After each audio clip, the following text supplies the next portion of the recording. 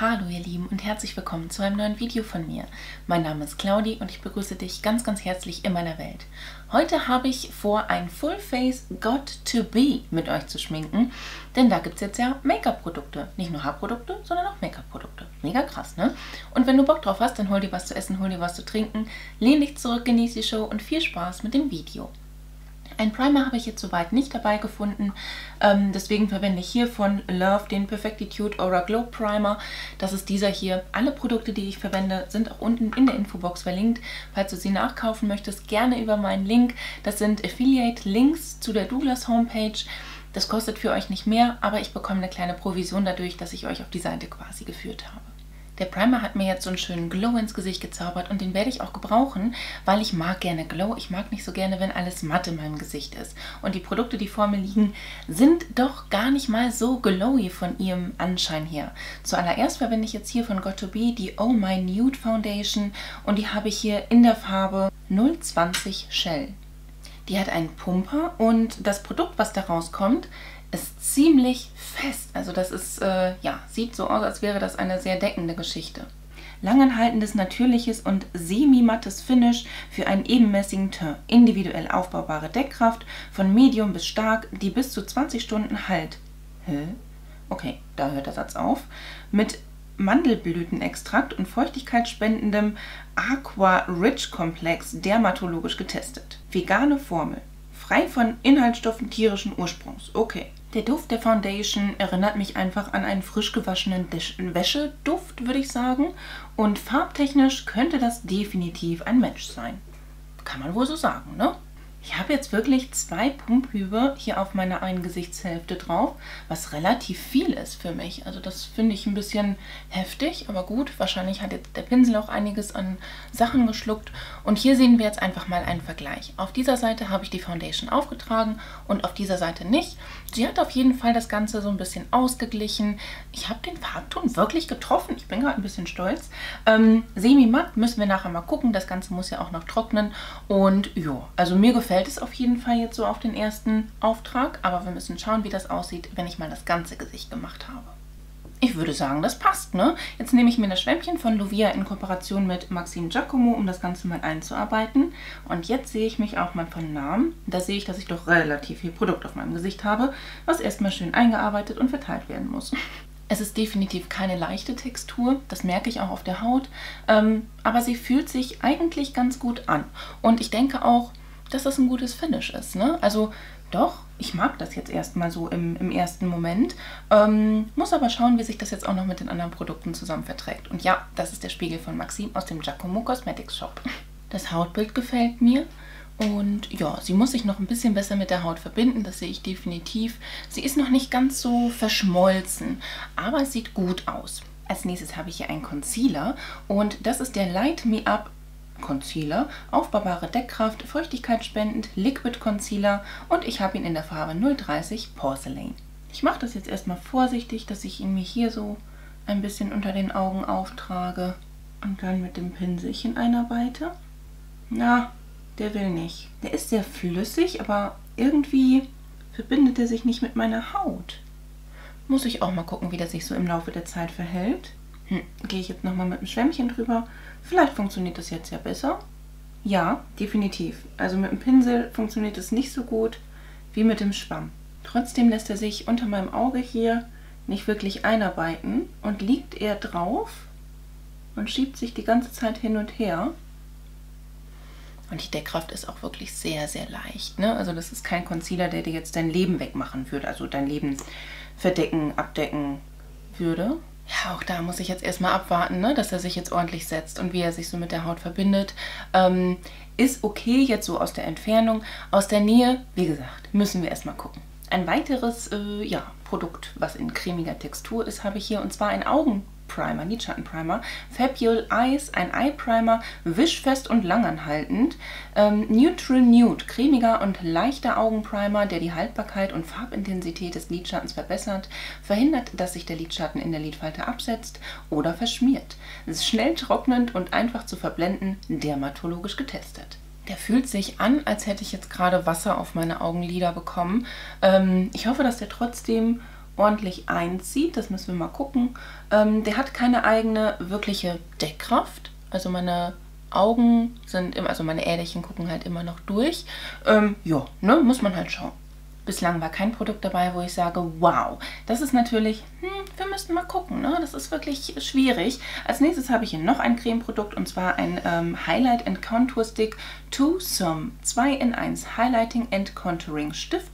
Den habe ich in der Farbe Light, hochpigmentiert und langanhaltend, individuell anpassbare Deckkraft, leicht zu verblenden, perfekt auch für unterwegs. Okay. Also der ist super leicht, ne? Das ist ja krass. Ja, das nenne ich mal eine ganz leichte Deckkraft. Ne? Also den braucht man nicht, finde ich nicht jetzt so als Konturstick. Ne? Da siehst ja nichts von. Was ist das denn? Nee, nee, nee, nee. Das ist mir zu wenig. Ich habe eben auch erst geguckt, ob ich vielleicht aus Versehen die Highlighting-Seite mir rausgedreht habe, aber das war definitiv die Contouring-Seite, denn die Highlighting-Seite kommt jetzt. Komisch. Der ist schön. Also als Highlighter-Stick mag ich den. Der ist hübsch. Der Concealer ist jetzt ein bisschen in die Falten gekrochen, aber nicht wirklich, hat sich aber jetzt mittlerweile ganz gut mit dem Gesicht verbunden. Genauso auch die Foundation. Also die ist auch jetzt nicht irgendwo hingekrochen oder sowas. Ja, an der Nase vielleicht ein bisschen. Ja, doch, da. Da ist er hingekrochen. Da kann ich ja mit dem kleinen Pinsel noch ein bisschen nacharbeiten. Ja, da in die, ne? Nasen, Flügelfalte. Aber sonst alles tutti. Das Ganze können wir jetzt einmal setten. Dafür habe ich das Powderful Setting Powder in der Farbe Neutral, mattierendes und fixierendes Puder, das ein makelloses Finish zaubert, verleiht einen natürlichen Look, der den ganzen Tag hält, absorbiert überschüssiges Öl, ohne die Haut auszutrocknen, sofortiger Weichzeichner-Effekt, der Poren minimiert aussehen lässt, fixiert die Foundation, ohne den Ton zu verändern, dermatologisch getestet. Auch hier wieder die vegane Formel. Ich finde auch, dass es nicht totmatt macht. Also hier die Seite habe ich jetzt abgepudert und diese Seite habe ich noch nicht gepudert. Es ist wirklich transparent für mich. Es hält die Foundation nicht irgendwie übermäßig auf oder geht überhaupt nicht auf. Ne? Und irgendwie kommt noch Glow durch. Ich weiß jetzt aber nicht, ob das vom Primer ist oder von der Foundation. Und das gefällt mir definitiv. Auch den Highlighter sieht man noch durchkommen und das finde ich auch sehr schön. Ja, das Puder gefällt mir auf jeden Fall. Das hat ein schönes Finish gemacht. Ist jetzt nicht irgendwie super weich gezeichnet oder sonst irgendwas.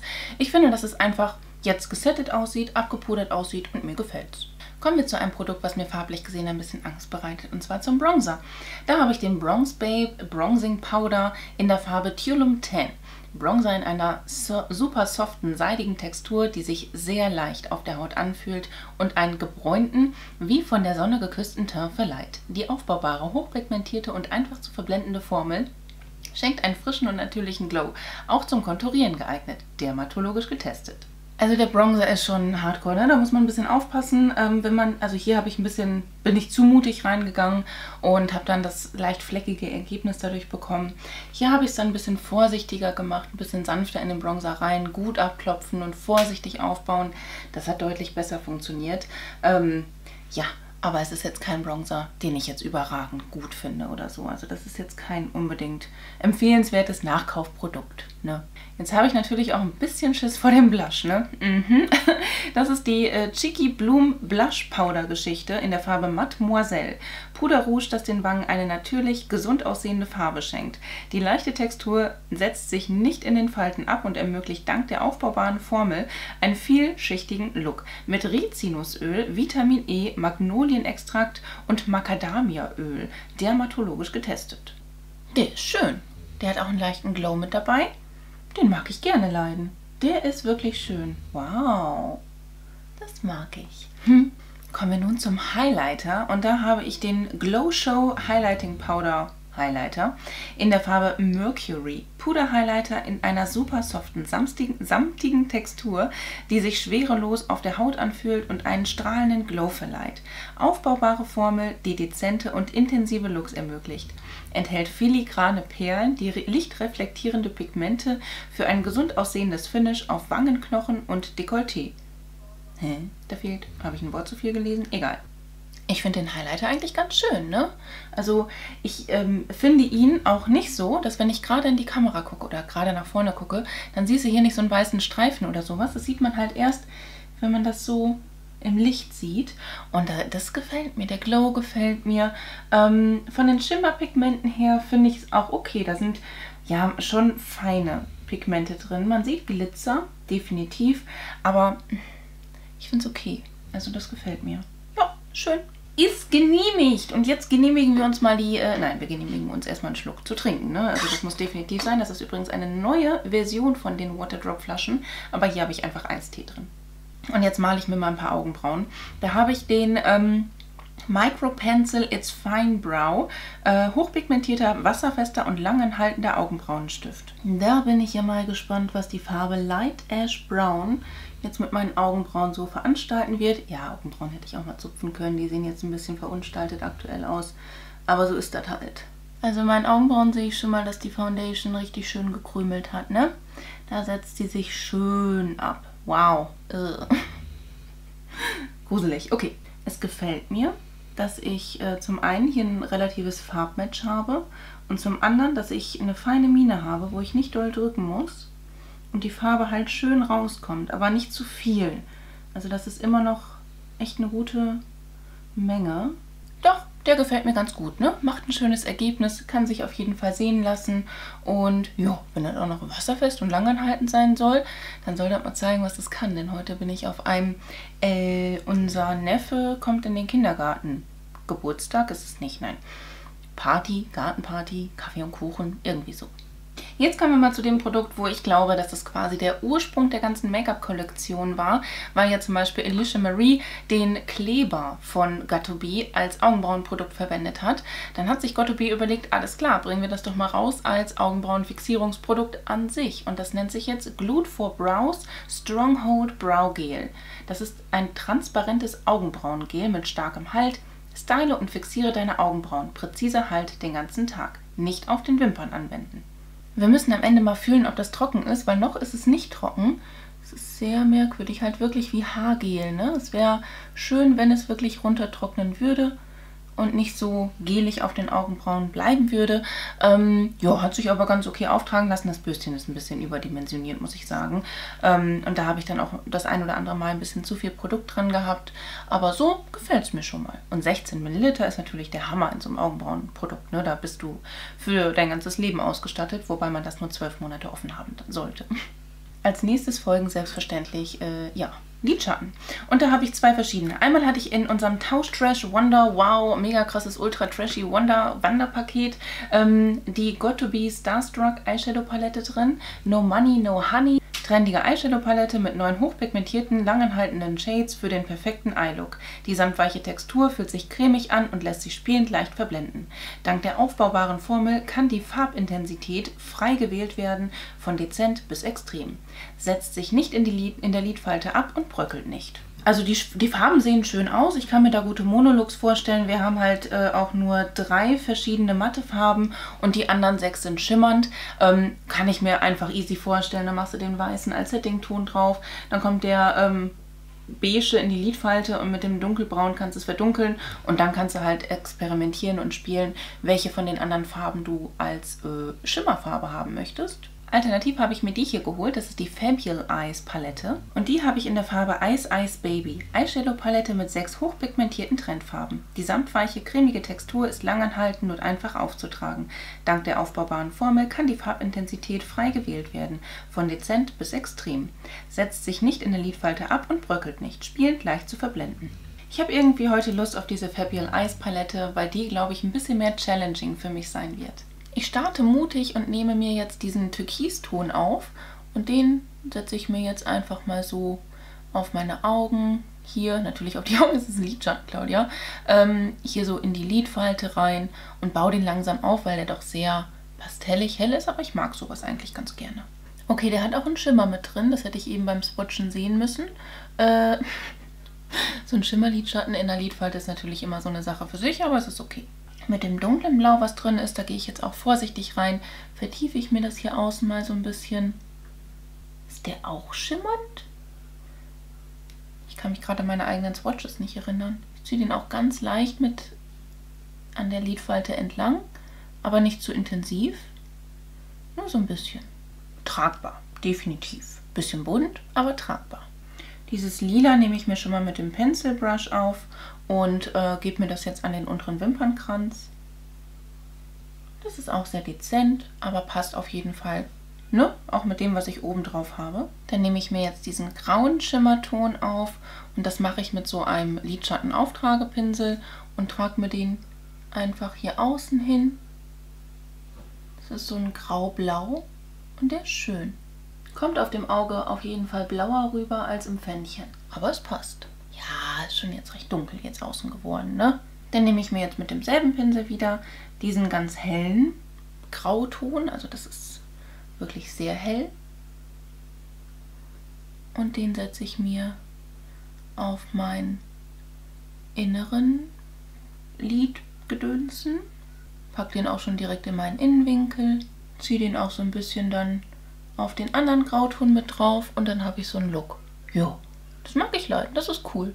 Das ging auch einfach und schnell, hat sich schön verblenden lassen, auftragen lassen und so weiter. Da beschwere ich mich nicht. Ich nehme jetzt auch nochmal meinen Pencil Brush und gehe in diese dunkelste Farbe nur einmal kurz rein, reintippen, abklopfen und setze mir den außen an meinem unteren Wimpernkranz noch über das Lila drüber, um das Ganze ein wenig zu vertiefen. Aber nur so ein bisschen. Ne? Jo.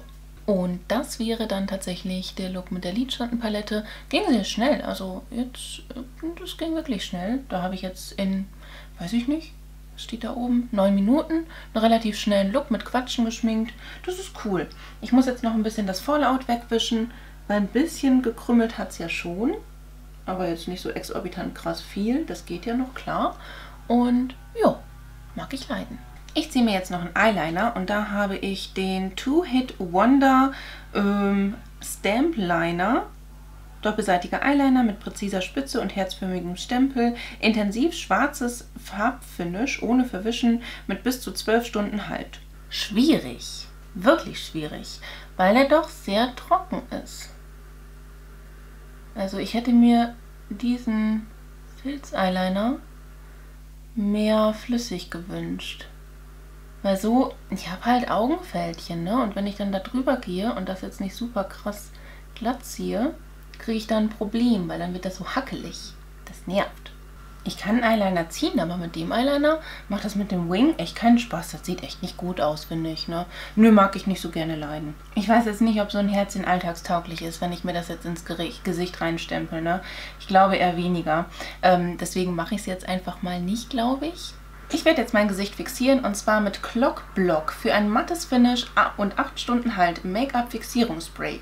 Federleichtes Fixing Spray, das dem Make-up Haltbarkeit bis zu 8 Stunden verleiht, zaubert ein seidiges Finish und hinterlässt ein natürliches Gefühl auf der Haut, trocknet schnell und klebt nicht. Zur Fixierung des Make-ups nach dem Auftragen dermatologisch getestet. Als würde ich mir Deo ins Gesicht sprühen, ohne Witz jetzt, ne? Huh, das hat echt einen Duft, Leute, das sage ich euch. Also es fühlt sich, oder wie Haarspray. Ja, es fühlt sich, es riecht wie Haarspray und es fühlt sich an wie Haarspray auf dem Gesicht. Gucken wir mal, ob das dann auch wirklich alles richtig macht. oh je. So, bevor ich jetzt die Mascaren teste, werden erstmal die Wimpern gecurlt. Von Got2b habe ich nun zwei Mascaren, die ich testen werde. Das sind diese beiden Schätzeleins. Auf dieser Seite werde ich die Fakin It ähm, False Lash, Lash Mascara testen, die übrigens einen Deckel hat ist das nicht wunderschön? Mag ich gerne leiden. Und auf der anderen Seite werde ich die Too Sexy Fullness Mascara ausprobieren. Die Fixin It Mascara auf dieser Seite hat ein tannenbaumförmiges äh, ja, Gummibürstchen und die ähm, Too Sexy Mascara auf dieser Seite hat ein ellipsenförmiges Kunsthaarbürstchen. Das Spektakuläre an dieser Mascara ist, dass sie ähm, zwei verschiedene Arten und Weisen hat, wie sie Produkt drauf haben kann. Einmal diese Seite, wo beide Viecher rausgedreht sind, da hat sie voll Produkt drauf. Und dann kann man noch die obere Seite hier rausdrehen. Da wird richtig viel Produkt wohl abgestrichen. Außer jetzt. genau, und dann sieht es so aus. Ohne Mascara. Erste Schicht, zweite Schicht, dritte Schicht. Ich finde, dass beide Mascaren in der zweiten Schicht am schönsten ausgesehen haben. Und ich finde, dass die Fake It Mascara deutlich schöner aussieht als die Too Sexy Mascara, weil die Too Sexy Mascara auch so ein bisschen die Wimpern verklebt hat, beziehungsweise sie war zu flüssig. Das Produkt an sich war mir zu flüssig, sodass es dann auch immer wieder abgestempelt hat. Also ich habe hier unten eben auch so ein Pünktchen gehabt, was ihr, glaube ich, in der zweiten Schicht gesehen habt, was ich mir eben noch weggewischt habe. Aber trotzdem machen beide auch dank meines unfassbar krassen Wimpernserums, ne? Grande Lash, Purish, 15% Rabatt mit dem Code Claudiswelt 15. ähm, Affiliate-Rabattcode, ähm, machen die halt echt schöne Wimpern. Ne? Also das sieht, das sieht schon cool aus. Auch zu dem Look gefällt mir das gerade sehr gut. Ja, überhaupt kein Sommerlook, den ich jetzt gemacht habe. Ne? Eher so ein Winter-Icy, Eiskönigen, Schlag mich tot Look. Ähm, Finde ich aber schön. Also das mag ich sehr gerne. Und jetzt kommen wir zu den Lippen. Da habe ich ähm, einen Lip Liner und zwei Lippenstifte. Ich trage mir zuallererst den Lip Liner auf. Das ist der Line Me Up Lip Liner und den habe ich in der Farbe Millennial. Wow, der gibt derbe Farbe ab und die Farbe ist extrem. Aber frag mich nicht wieso. Irgendwie mag ich das gerade richtig gerne. Ähm, ich möchte jetzt auch noch kurz ein Produkt ausprobieren, weil ich da gerade hier ein bisschen über die Kante gemalt habe. Den Magic Wand Make-up Eraser. Das ist so ein, ja, einfach, ja, Make-up-Radierer, ne? Dass wenn du irgendwo gepatzt hast, beim Eyeliner, beim Lip-Liner, dass du dir dieses kleine Stiftchen einfach nehmen kannst und dann daran entlang malen können sollst, um so das Make-up wegzuradieren. Mal gucken, ob das hier hilft. Schon. Doch, schon. Ich dachte erst, der trägt nur so komisch Produkt auf. Man muss halt aufpassen, ne, dass man dann nicht unbedingt das zu sehr verwischt oder so. Aber ich kann mir vorstellen, dass es funktioniert. Ja, da oben habe ich jetzt Angst, dass ich meinen Lidschatten runternehme, ne? Na, keine Ahnung. Ich muss Lippenstift drauf machen. Das sieht jetzt ein bisschen weird aus hier, ne? Aber das ist ein interessantes Produkt. Das wird jetzt auch äh, hier öfters mal verwendet werden, ausprobiert werden, wenn ich mal patze. Und da habe ich jetzt zwei Lippenstifte. Den hier werde ich mir jetzt wahrscheinlich auftragen. Das ist der Lolly Lips Lipstick in der Farbe Love Bite. Hat so ein bisschen Yves Saint Laurent Vibes, weil die ja auch so Lippenstifte hatten mit so Herzchen drin und so, ne? Und auch im Pflegekern. Das kommt mir bekannt vor. Und das könnte jetzt farblich nämlich ganz gut passen. Ich guck mal. Oh nee. Wobei, ich könnte mir so Ombre-Lips machen, ne? Hm, das funktioniert gut mit den Ombre-Lips. Guck mal. Sieht witzig aus. Ich mag das. Schmeckt auch leicht beerig. Und ja, das ist jetzt ein bisschen knallig, ne? Aber irgendwie finde ich es cool. Irgendwie, irgendwie hat das was. Fühlt sich auch sehr glossig auf den Lippen an. Ähm, ja, ist jetzt aber nicht unbedingt. Ist das was für ein Alltag? Ich würde sagen, nein. Und dann habe ich hier noch ähm, den Glossified Lipstick. Ich glaube, der ist ein bisschen passender jetzt gerade auch zum Look und zum Anlass in der Farbe Sugar Cone der passt besser, weil der so ein bisschen zurückhaltender ist. Ne? Ansonsten sieht man ja nur noch Lippen bei mir. Das muss ja auch nicht sein. Ähm, ja, aber das war jetzt tatsächlich dann auch äh, der komplette Test und komplette First Impression von den Got2B Also wir sehen, ne, so ein paar Produkte, die sind okay, ein paar Produkte sind eher so nie und ein paar Produkte sind, wo ich sage, ja, die kann ich mir schon irgendwie in meinem Alltag vorstellen. Ich muss aber ganz ehrlich gestehen, dass da so der Highlighter, den finde ich richtig geil, muss ich sagen. Die, die Mascara, vor allem die, gefällt mir richtig gut. Die Augenbrauen, okay. Apropos Augenbrauen, ja, sind jetzt trocken, sind jetzt fest. Wow, das fühlt sich an, als hätte ich mir da wirklich Gel reingemacht. Wahnsinn weiß ich noch nicht so genau, ob mich die Marke jetzt so geflasht hat. Ich bin auch sehr gespannt, ob die sich jetzt auch auf dem Make-up-Markt hält, ob die gegebenenfalls noch weitere Produkte rausbringen werden oder ob die jetzt sagen, naja, das war's jetzt. ich hoffe nicht, weil ich fände es ganz interessant, wenn die sich jetzt auch so ein Stück weit weiterentwickeln würden. Zum Beispiel noch so ein bisschen am Bronzer feilen, an der Foundation, vielleicht auch unterschiedliche Geschichten für zum Beispiel trockene, sensible Haut wie mich rausbringen, also vor allem trockene Haut. Ähm, wobei ich auch anhand des Packagings sehe, dass es nicht so unbedingt für Ladies oder Herren gemacht ist, ähm, die halt entsprechend vielleicht schon die ein oder andere Falte haben, denn da rutscht das ganze Kram sehr gerne rein. Ähm, ansonsten, mir gefällt mein Look. Ich werde damit den Tag verbringen und werde mich damit auch wohlfühlen. Und ich finde auch, dass es alles sehr schön aussieht. Es ist sehr harmonisch, ne? also damit fühle ich mich schon wohl. Ähm, haut mich aber irgendwie nicht so hundertprozentig von den Socken. Schreibt mir gerne mal in die Kommentare, wie ihr das so findet, also wie ihr quasi das Make-up findet, ob ihr Produkte schon getestet habt und ähm, ja, wie ihr die so gefunden habt. Und das war's von mir hier. Wenn euch das Video gefallen hat, dann lasst mir doch sehr, sehr gerne ein Daumen nach oben da. Würde ich mich mega drüber freuen. Ansonsten wünsche ich dir einen wunderschönen Tag, einen wunderschönen Abend. Lass es dir ganz einfach gut gehen. Fühl dich ganz doll gedrückt von mir. Ich verlinke dir mal hier oben meine Playlist mit den ganzen Style Talk Videos oder Schminkies 2021.